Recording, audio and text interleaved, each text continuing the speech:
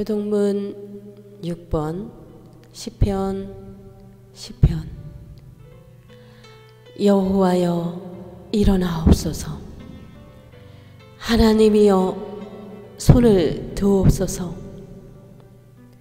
가난한 자들을 잊지 마옵소서.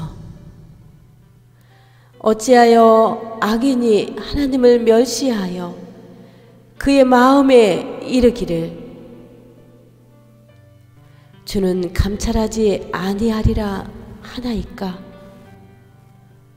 주께서는 보셨나이다 주는 재앙과 원한을 감찰하시고 주의 손으로 갚으려 하시오니 의로운 자가 주를 의지하나이다.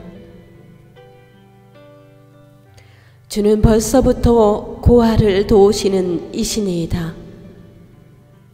악인의 팔을 꺾으소서 악한 자의 악을 더 이상 찾아낼 수 없을 때까지 찾으소서 여호와께서는 영원 무궁하도록 왕이시니 이방 나라들이 주의 땅에서 멸망하였나이다. 여호와여 주는 겸손한 자의 소원을 들으셨사오니 그들의 마음을 준비하시며 귀를 기울여 들으시고 고아와 압제당하는 자를 위하여 심판하사 세상에 속한 자가 다시는 위협하지 못하게 하시리이다. 아멘.